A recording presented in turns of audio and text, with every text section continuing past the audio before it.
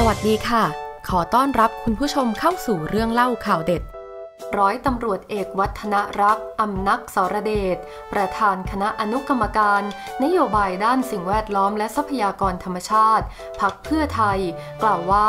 ขณะนี้ประเทศไทยติดอันดับ 3 ของเมืองที่มีอากาศแย่ที่สุดในโลก โดยข้อมูลจากแอปพลิเคชัน Air Visual ระบุว่า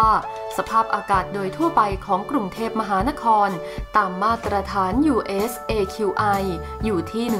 190 ซึ่งคุณภาพอากาศเช่นนี้ ส่งผลไม่ดีต่อสุขภาพของประชาชน ซึ่งทางกระทรวงทรัพยากรธรรมชาติและสิ่งแวดล้อม ก็ได้ออกมายอมรับว่า พื้นที่ในกรุงเทพมหานครอากาศจะแย่จนถึงวันที่ 17 ธันวาคม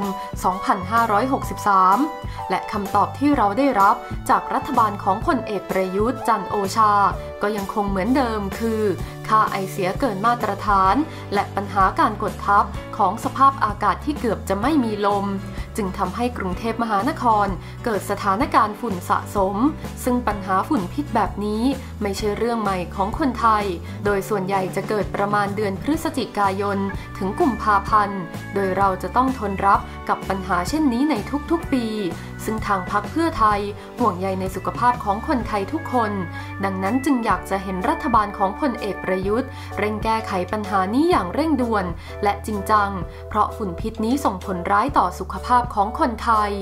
ร้อยตำรวจเอกวัฒนรักกล่าวอีกว่าพลเอกประยุทธ์ ควรจะใส่ใจและพร้อมที่จะรับฟัง ข้อเสนอแนะในปัญหาฝุ่นพิษ อย่างจริงจังจากทุกๆฝ่ายพักเพื่อไทยขอเสนอแนววิธีการดังนี้ 1. ควรดำเนินการติดตั้งระบบการแจ้งเตือนมลพิษ ตามสถานที่สุ่มเสี่ยงต่างๆ เพื่อให้ประชาชนมีสิทธิ์ที่จะรู้ว่า เวลาและพื้นที่ไหนควรที่จะต้องระวัง เพราะปัญหาฝุ่นพิษ ส่วนใหญ่มักจะเกิดในบริเวณเดิม 2. พิจารณาภาษีฝุ่นพิษ โดยโรงงานต่างๆ ที่ปล่อยมลพิษเกินมาตรฐาน จะต้องจ่ายภาษีเพิ่มขึ้น ตามปริมาณที่ปล่อยเกิน และถ้าหากยังไม่สามารถแก้ไขปัญหาได้ภายใน 1 ปี จะต้องถูกดำเนินการปิดโรงงานอย่างจริงจัง และเพื่อเป็นการสร้างแรงจูงใจ ให้กับผู้ประกอบการ ในการเร่งแก้ไขปัญหาโดยเร็ว จึงควรจะจัดทำมาตรการลดภาษี ให้แก่ผู้ประกอบการที่สามารถลดปริมาณมลพิษได้ 3. เริ่มยุทธการแก้ไขปัญหาฝุ่นพิษอย่างเร่งด่วน โดยเริ่มดำเนินการฉีดน้ำจากที่สูง ฉีดน้ำล้างถนน และติดสปริงเกอร์บนตึกสูงเพื่อพ่นละอองน้ำ โดยเฉพาะบริเวณพื้นที่ก่อสร้าง ถนนที่รถติดเป็นต้น และรัฐบาลควรที่จะต้องเป็นผู้รับผิดชอบค่าใช้จ่ายที่เกิดขึ้น 4. ระบบ Big Data โดยจัดเก็บข้อมูลเพื่อทำการวิเคราะห์พื้นที่เสี่ยง ที่จะมีค่าฝุ่นเกินมาตรฐานล่วงหน้าได้ ซึ่งถ้าหากเรามีข้อมูลและเครื่องตรวจที่เพียงพอ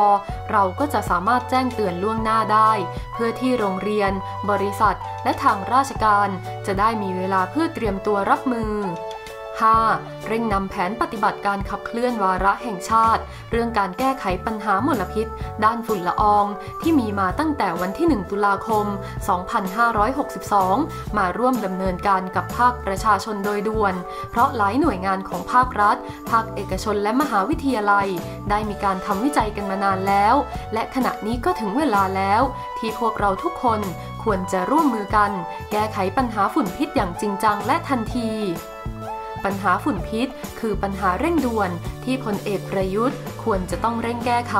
เพราะในหลายประเทศสามารถแก้ไขได้แล้ว แต่ไทยเรายังไม่ได้ทำอะไรที่เป็นรูปธรรมเลย และหากเราอยากให้ไทยเป็นเมืองท่องเที่ยวเชิงคุณภาพ เพื่อเพิ่มรายได้ให้กับคนไทยทุกคน ดังนั้นจึงควรเร่งแก้ไขปัญหาฝุ่นพิษโดยด่วน เพราะหากอากาศยังคงแย่แบบนี้ ก็คงไม่มีใครที่อยากจะเที่ยวในประเทศไทยอีกต่อไป ร้อยตำรวจเอกวัฒนรักกล่าว ขอขอบคุณข้อมูลดีๆ จากสยามรัฐ อย่าลืมกดติดตามพร้อมทั้งคอมเมนต์แสดงความคิดเห็น ขอบคุณที่รับชม แล้วเจอกันใหม่ค่ะ